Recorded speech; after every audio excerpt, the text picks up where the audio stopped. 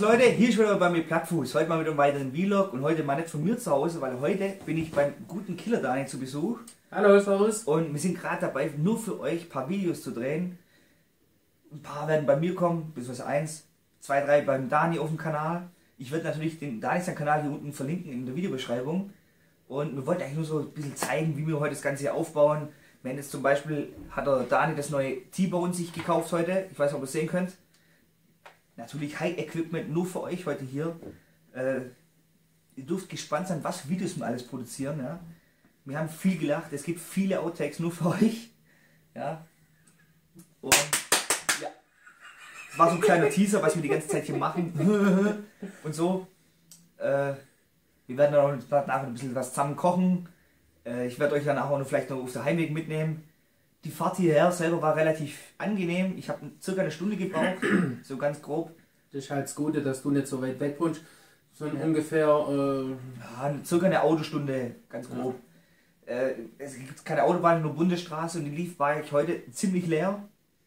Und ja, sagen wir so, ich hatte den Vorteil, es lief eigentlich bis kurz vor deinem Haus extrem flüssig und dann war Stau. Ich, der Stau hat mir fast eine halbe Stunde gekostet. Also ich bin heute eher anderthalb Stunden gefahren anstatt eine Stunde, wie sonst.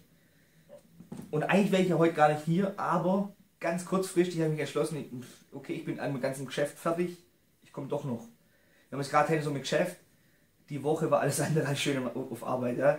Am Mittwoch zum Beispiel rufen sie mich an, ja, der Gulli ist verstopft, ich soll mal kommen nachgucken. Und es hebt dich fest, ich mache den Gullideckel auf. Das erste, was ich gemacht habe, war mich gnadenlos übergeben.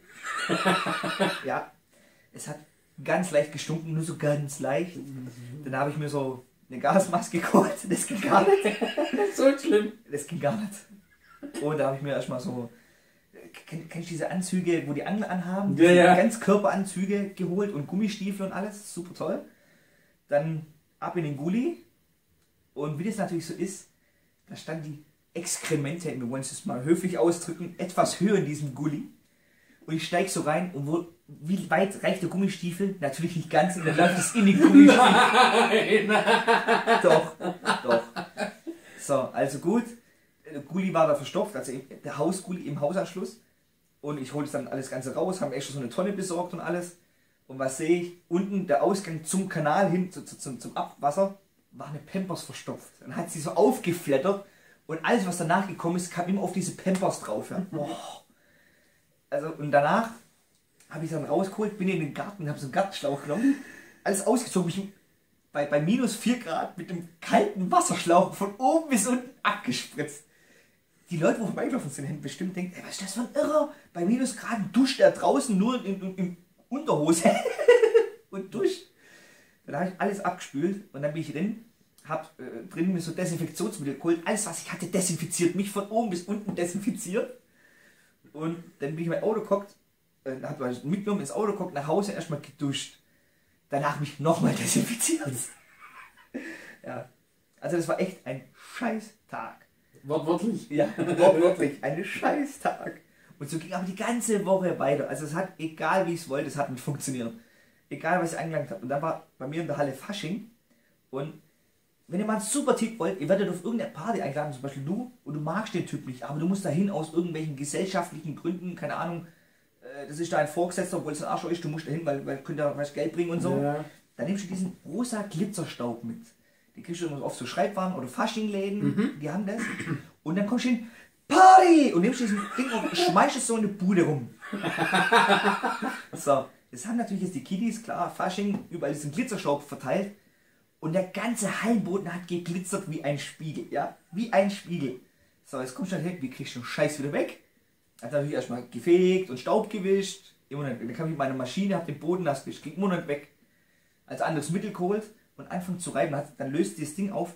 Und das hatte ich nachher alles an den Händen und überall mal ganz. Ich war, sah aus wie ein rosa Einhorn. Von oben bis unten voll mit Glitzerstaub.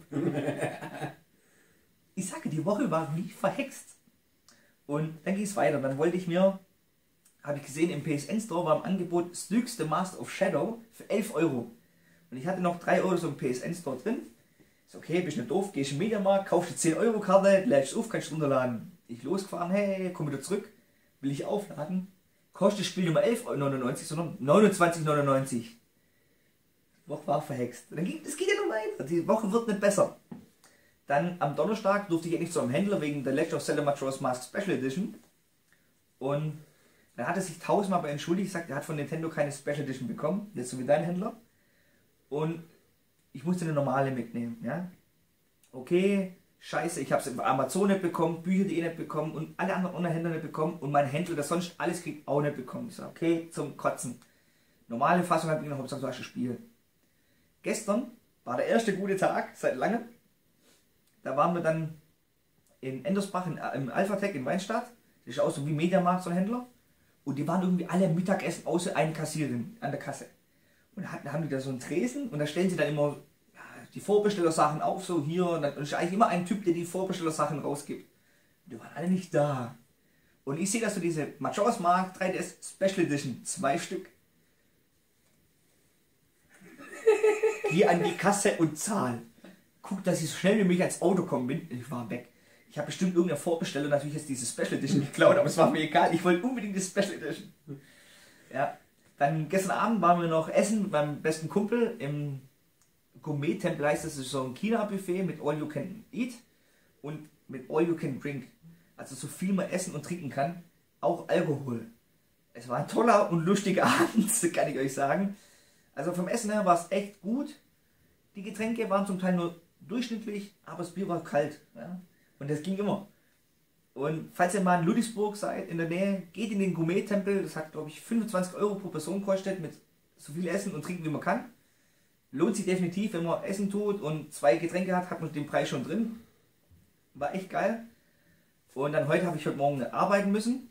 Ich war schon früher wie geplant fertig. Ich war um halb elf schon fertig. Ich habe eigentlich gedacht, ich brauche bis drei, vier. Und dann habe ich zum Dani gesagt, hey, wie schaut es denn aus? Was machst du heute? Ja, ich weiß auch noch nicht. Ein bisschen faul gewesen heute Morgen noch. Hat erst mal auf Facebook groß gepostet, hier, ich tue mal frühstücken. ja. Und dann hat der Dani gemeint, hey, komm doch rüber zu mir. Ich so, ah, das ist auch eine Stunde Fahrt und dann keine Lust. Und dann hat er gemeint, hier, komm rüber, mach mal ein Video. Und zack, bin ich hier. So, was wir jetzt dann noch alles machen, seht ihr dann im restlichen Teil vom, vom Video, weil wir werden jetzt zusammen kochen. Beziehungsweise Dani bekocht mich. Ich bin heute ein fauler Sack. Werde bekocht. Dani, was willst du kochen heute für uns? Ganz alt, Bagel, Spaghetti Bolognese, aber auf meine Art. Also keine Standard äh, Spaghetti, sondern Und keine Fixpäckchen. keine Fixpäckchen dieses Mal. Also da bin ich echt gespannt drauf. Äh, die Unboxing von Majora's Mask werde ich natürlich auch noch aufnehmen, sobald ich Zeit dazu habe haben wir gerade ein bisschen weniger. Ansonsten, wenn man sich jetzt nicht mehr sieht, ihr werdet mich nicht mehr sehen wahrscheinlich, wünsche ich euch noch einen schönen Tag und viel Spaß. Bis zum nächsten Mal. Bis dann. Ciao. Tschüss.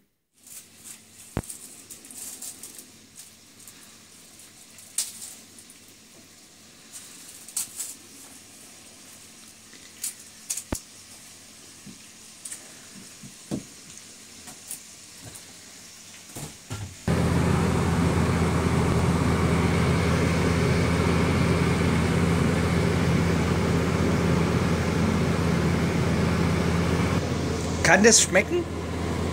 Es muss schmecken.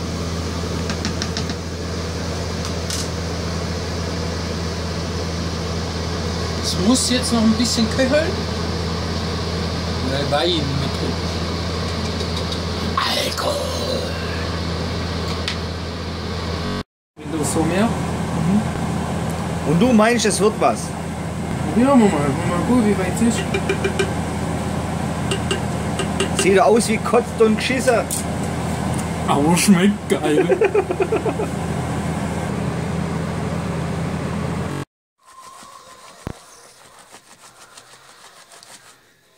Also jetzt auf dem Teller sieht es echt sehr lecker aus. Und ich muss euch zugeben, es schmeckt auch sogar sehr lecker. So, da bin ich wieder. Ich bin jetzt wieder zurück von gestern, vom Dani. Es war echt ein richtig lustiger Tag gestern. Es hat mir richtig Spaß gemacht beim Dani. Und wir waren auch echt produktiv für euch. Also wir haben mehrere Videos aufgenommen. Und ich muss euch gleich gestehen, wir hatten, ich hatte, oder ich, nicht wir, sondern ich hatte ein Problem. Eine Videoaufnahme ist mir leider misslungen. Äh, wir haben für euch ein Beef aufgenommen. Wir haben gegeneinander Mario Kart 64 gespielt. Das wollte ich eigentlich hier zeigen. Das kann ich leider nicht, da es nur die erste Minute aufgenommen hat und danach irgendwie abgebrochen, warum auch immer. Total schade, es tut mir echt leid für euch. Es war nämlich saulustig. Also, der Daniel wird es bestimmt euch bestätigen. Es hat richtig, richtig Spaß gemacht, gegen ihn zu spielen. Äh, aber leider ist die Aufnahme misslungen. Aber wir werden es vielleicht in Zukunft mal nachholen. Mal schauen. Ansonsten, Dani, dein Essen war echt lecker, hätte ich nicht gedacht. Ich bin kein Fan von Spaghetti Bolognese, aber deine war sehr gut. Gerade mit den Karotten, das war mal was anderes. Hat mir geschmeckt. Also, und du kannst sogar kochen ohne Magifix. Hätte ich auch nicht gedacht. Koch so weiter, dann wird es besser. Ähm, was noch? Ja, dann die Heimfahrt gestern. Die war richtig kacke. Es ist so schlecht gelaufen vom Dani zu mir. Ich habe fast anderthalb Stunden gebraucht. Es war echt lang immer wieder staulastig und ich musste im Dunkeln heimfahren. Also ich habe im Prinzip kein Problem mit äh, Nachtfahrten. Nur ich mag es nicht, wenn ich mich in einer Region nicht auskenne und dann Nachtfahrt habe. Ja? Also wenn ich jetzt hier bei mir in der Gegend fahre, wo ich die Gegend kenne, ist das gar kein Problem, da weiß ich, wo was ist. Wenn ich mich aber dann in der Nacht nicht richtig orientieren kann und mich komplett auf mein Navi oder die Karte, wo ich gelesen habe, verlassen muss, das mag ich einfach nicht so ganz. Und dann gibt es irgendwie so Idioten, wo dann merken, oh, meine eine Lampe ist kaputt am Auto, wir fahren mit Fernlicht. Und dann blenden die dich die ganze Zeit, das regt mich höllisch auf. Leute, guckt nach eurem Licht und stellt es richtig ein, ihr blendet nur die anderen Autofahrer, das ist total kacke.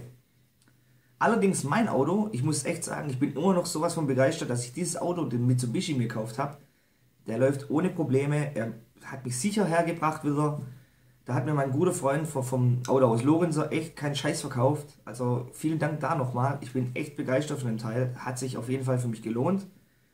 Und ja, auch, auch wenn es Dunkelfahrt, Nachtfahrt war, es hat trotzdem Spaß gemacht. Aber nächstes Mal bei so längerer Autofahrt ist es cooler, wenn man zu zweit ist, dann kann man sich ein bisschen unterhalten. So konnte ich im Prinzip nur Musik hören. Ja, okay, ist auch nicht schlecht. Aber wenn man jemanden hat, mit dem sich unterhalten kann, macht so eine lange Autofahrt um einiges mehr Spaß. So, dann habe ich euch auch erzählt, ich habe mir die Legend of Zelda, die Special Edition ge äh, gekauft. Den werde ich jetzt nicht zeigen müssen. Kennt ja von euch mittlerweile jeder. Jeder zweite YouTuber macht jetzt ein Unboxing-Video. Doch, zeig sie uns. Also wenn ihr es sehen wollt, ich hebe sie mal kurz her. Ich habe auch die Special Edition bekommen, habe ich ja erzählt. Ich werde es aber jetzt nicht rausholen. Das habt ihr schon genug bei anderen Leuten gesehen, wenn ihr wissen wollt, was drin ist. Da ist unter anderem das Spiel drin, so ein Ansteckpin drin, äh, ein Poster und ein Steelbook. Äh, wenn ihr das genau sehen wollt, Schaut doch mal zum Beispiel das Video vom Killer Dani an, der hat das unboxed oder der Animatiker. Ich werde die beide mal hier unten in der Videobeschreibung noch verlinken. Schaut sie euch an, wenn ihr genau wissen wollt, was da drin ist. Ich werde es nicht nochmal extra auspacken. Finde ich schwachsinnig, wenn es schon 200 Videos von dem Ding gibt. Warum soll man nochmal ein Video zeigen? Äh, ich werde es nur machen, falls es tatsächlich einer von euch möchte. Aber zur Not schaut es euch bei anderen Leuten an. Es bringt mir nichts. Das heißt, erstmal einen Schluck trinken. Ich habe ein bisschen Frosch im Hals.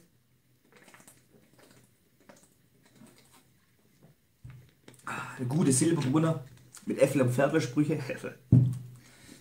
so, was habe ich mir noch aufgeschrieben, worüber ich reden wollte? Ja, ihr seht, ich lasse gerade meine Haare etwas wachsen und mit Haare wachsen kommt auch wieder eins vor. Ich war das erste Mal seit fast fünf Jahren wieder bei einem Friseur und es kommt mir immer noch komisch vor. Also, wenn man sich fünf Jahre lang, ich sag mal, ich habe einen Iro gehabt, danach eine Glatze sozusagen, das ist echt komisch, wenn man dann wieder beim Friseur sitzt und sagt, hm, was hättest du denn gern? Hm, ja, Haare geschnitten, was sonst?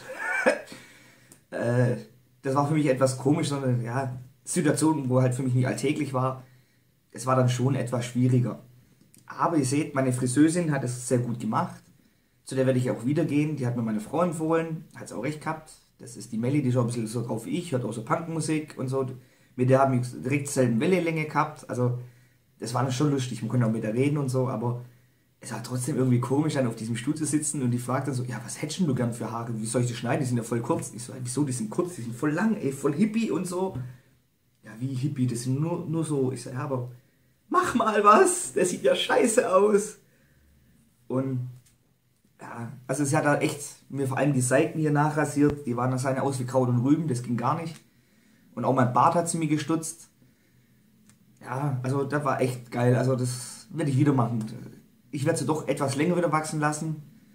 Äh, es haben mir viele von meiner Freunde gesagt, hm, komm Junge, es wird mal Zeit, dass du ein bisschen äußerlich veränderst. Lass dir mal für die Haare etwas länger wachsen und vielleicht ein Bart stehen, das steht dir ganz gut. Ja, ich, muss äh, sagen, da haben sie echt recht gehabt. Also mit diesem Bart bin ich sehr zufrieden, es steht mir. Und auch mit etwas länger Haare ist mal wieder was anderes, wirkt mal wieder frischer. gefällt mir sehr gut. Ihr könnt ja mal in die Kommentare schreiben, was ihr meint. Soll ich wieder kurz machen? Haare länger, kürzer? Gefällt es euch? Sagt, er war total unnötig. Du siehst aus wie ein Hippie, wer weiß. Ja. Äh, so, was habe ich mir noch aufgeschrieben? Ja, ich wollte mich ein bisschen entschuldigen, dass ich so wenig Videos an sich bringe. Oder nicht nur Videos, sondern auch, ihr hört relativ wenig gerade von mir. Sei es auf Facebook äh, oder irgendwelchen anderen sozialen Netzwerken. Das tut mir echt leid. Mir fehlt zurzeit einfach die Zeit. Mir fehlt zurzeit die Zeit, klingt voll scheiße. Also im Moment habe ich einfach keine Zeit, mich wirklich um meine, ich sag mal, Online-Freunde zu kümmern oder mich da richtig zu melden. Mir sind meine Freunde, die ich hier im echten Leben habe, wichtiger und da habe ich gerade ein paar Probleme mit manchen, die, die, die wollen mehr mich sehen und dann bin ich für die Leute eher da, wie für Leute, die ich nur übers Internet kenne. Ihr seid natürlich deswegen nicht weniger wichtig, aber Leute, die ich in echt sehen kann, die als Auge zu Auge, die sind mir etwas wichtiger aufgrund, weil wenn ich die brauche, sind auch für mich da.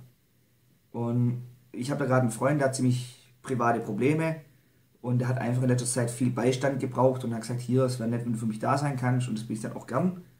Und habe den so ein bisschen in seinem Leben unterstützt. Und ja, es geht jetzt bei ihm langsam wieder bergauf und ich hoffe, das bleibt dann auch so. Und deswegen habe ich in letzter Zeit eigentlich wenig Zeit gehabt, dass er so viel von mir hören konnte. Hinzu kam noch natürlich das schlechte Wetter. Ich habe, äh, da ich ja bei der Stadt angestellt bin, auch Winterdienst. Und es hat halt in den letzten vier Wochen ziemlich heftig geschneit und war Glatteis. Da muss ich dann halt auch Schnee räumen und gegen Glatteis rausrücken. Und das frisst halt an der Substanz. Wenn man dann heimkommt nach 10 Stunden Schneeräumen oder 12 Stunden Schneeräumen, da habe ich nicht noch wirklich Lust, mit euch viel zu schreiben oder ein Video zu machen oder was weiß ich. Bitte verzeiht es mir, dass ich in letzter Zeit einfach, ich sag mal, mich rar mache.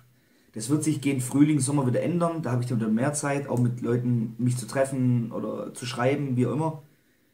Aber es geht im Moment einfach nicht. Ich bin zum Teil klinisch tot, wenn ich heimkomme vom Geschäft.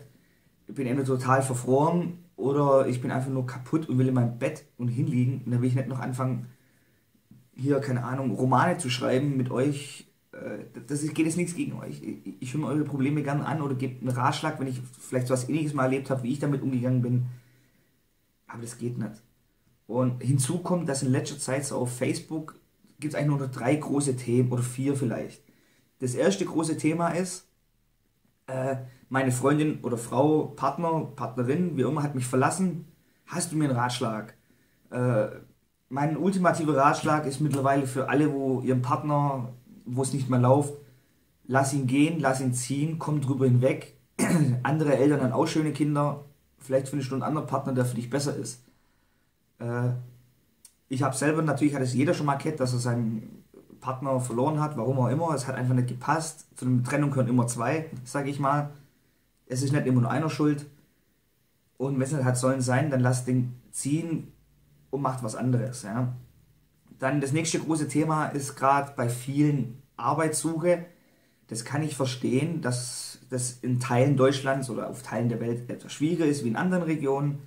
Ich gehe jetzt halt mal von meiner Region aus, hier in Baden-Württemberg ist es relativ einfach, eine Arbeit zu bekommen. Relativ. Es kommt darauf an, in welche Branche ihr sucht, natürlich auch. Aber wer arbeiten möchte, bekommt auch Arbeit. Die andere Frage ist natürlich, wird diese Arbeit auch gut bezahlt? Äh, ist es mein Traumjob? Macht die Arbeit mich glücklich? Erfüllt die mich? Ich habe das Glück, dass ich eine Arbeit gefunden habe, die mir sehr viel Spaß macht, die mich erfüllt, die dazu noch gut bezahlt wird oder ausreichend bezahlt wird. Ich kann davon leben ohne Probleme. Und ich wünsche das natürlich allen meinen Zuschauern auch. Und solltet ihr im Moment Arbeit suchen, dann klemmt euch dahinter, schreibt eine gute Bewerbung, macht gute Fotos, ruft einfach äh, bei Firmen an, nimmt die gelbe Seiten, keine Ahnung, ihr sucht jetzt als äh, Automechaniker eine Arbeit, dann geht in die gelben Seiten und dann ruft einfach von oben bis unten jede Firma an, wo Automechaniker sind, äh, sucht ihr gerade jemand, könnt ihr eine Hilfe brauchen.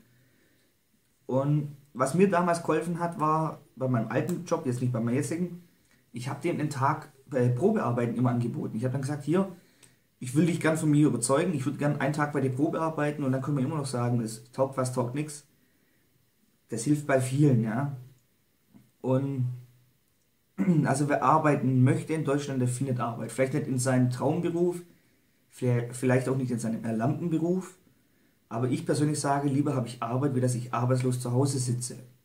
Ich kann es natürlich verstehen, wenn er sagt, hier, warum soll ich arbeiten gehen, wenn ich als Beispiel Hartz IV viel mehr bekomme Arbeit, äh, das Geld, mein Lohn ist halt, ich kann nicht von leben. Natürlich kann ich verstehen, aber wenn ihr jetzt zum Beispiel eine Arbeit habt und ihr stellt euch nicht schlecht an, dann könnt ihr euch woanders bewerben oder vielleicht auch in dem Betrieb sagen, hier Junge, wie schaut's aus? Ich bin gut, ich schaffe alles, mehr Geld. Versucht's aus, seid nicht auf der faulen Haut, macht was aus eurem Leben, ja, versucht das Berufliche so hinzukriegen, dass ihr im Privaten glücklich seid. Und andersrum auch. Äh, mein Großvater sagte immer, bist du äh, privat glücklich, bist du es im Beruf auch. Und andersrum aber genauso. Und er hatte recht.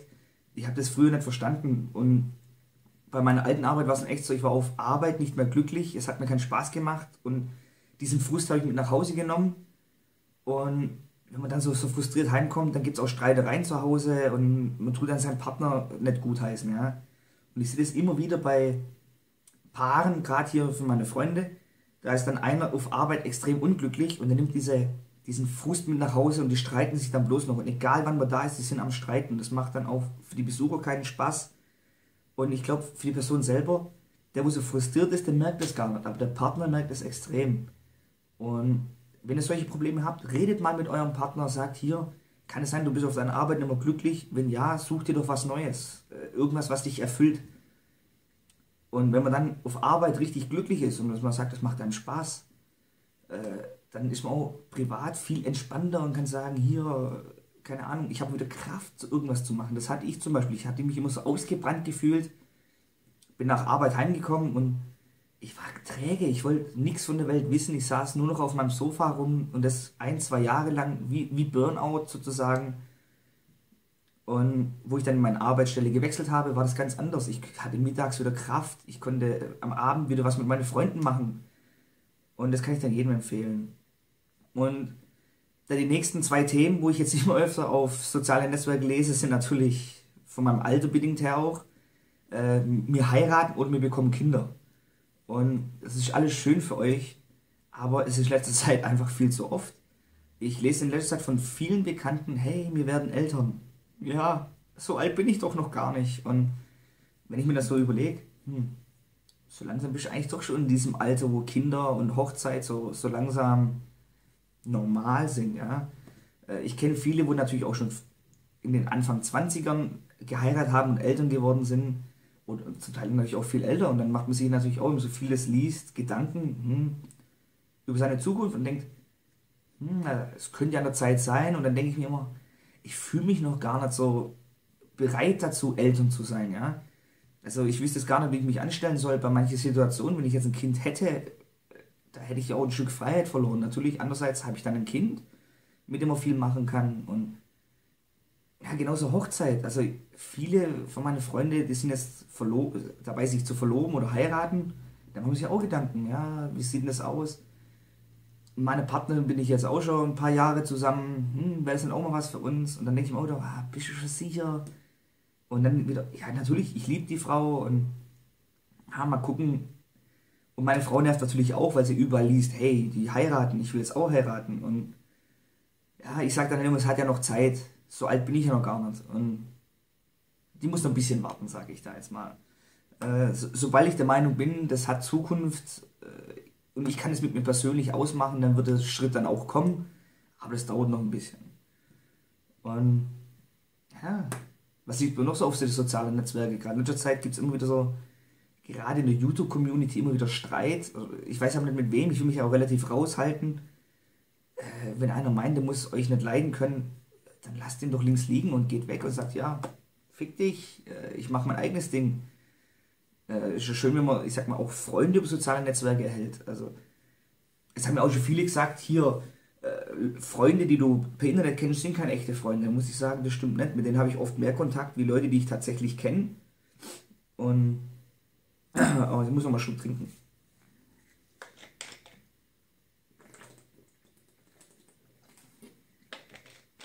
Ah, so. Ja, Online-Freunde, sind zum Teil für mich auch sehr wichtig geworden. Und ich sag mal, wenn sie nicht zu weit weg wohnen und mir schreibt einer an, hey, kannst du mir helfen? Keine Ahnung, ich muss umziehen, ich weiß nicht, wen ich noch fragen kann. Und er wohnt nicht zu weit weg, ich habe Zeit, dann helfe ich dem natürlich gerne.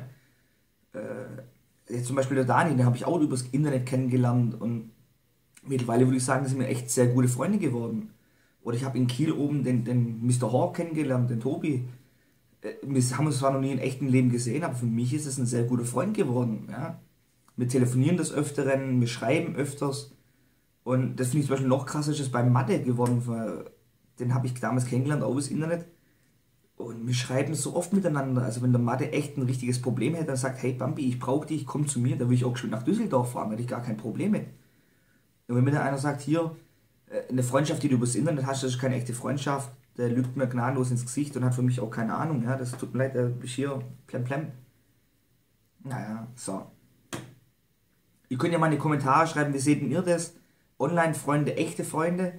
Also ich sehe es so, Leute, mit denen ich online mehr Kontakt habe als mit zwei Sätzen, also mit denen ich, ich sag mal, ein, zweimal die Woche schreibe oder mehrmals im Monat, die kann ich schon als Freunde oder Bekannte titulieren. Und wenn ich mit einem regen Kontakt habe, dann kann ich denen auch sagen, das ist ein richtiger Freund für mich geworden. Ja, man hat zwar nicht diesen Kontakt von Angesicht zu Angesicht, aber hat ja trotzdem Kontakt. Und da würde mich jetzt mal interessieren, wie, wie, seid ihr, wie seht ihr das so? Sind Freunde, mit denen man nur per Internet kommuniziert, Freunde oder sind es nur irgendwelche Bekannte für euch? Ja? Als beispielsweise ihr spielt jeden Tag World of Warcraft und tut mit denen jeden Tag per Teamspeak, Skype etc. quatschen. Mit denen redet ihr auch nicht nur, was im Spiel passiert, sondern würde auch mal sagen, hey, wie ist denn das? Keine Ahnung, mein Leben läuft das und das falsch, wie hast du das geregelt? Also könnt ihr mal in Kommentare schreiben. So. Mehr habe ich mir jetzt auch nicht mehr aufgeschrieben. Ich glaube, das langt jetzt erstmal. Das ist wieder so ein Video Finchi-Style-Vlog. Viele Grüße an dich, Finchi. Herzlichen Glückwunsch an deine Festanstellung für deinen äh, Job. Stellt sich ja gut an, habe ich mitbekommen. Freut mich für dich. Hast du auch verdient. So, ich habe jetzt nichts mehr zu, äh, zu belabern mit euch. Wenn ihr irgendwelche Wünsche, Kritik, Anregungen habt, könnt ihr auch in die Kommentare schreiben. Ansonsten bin ich jetzt raus. Wir sehen uns dann äh, beim nächsten Mal. Bis dann. Ciao.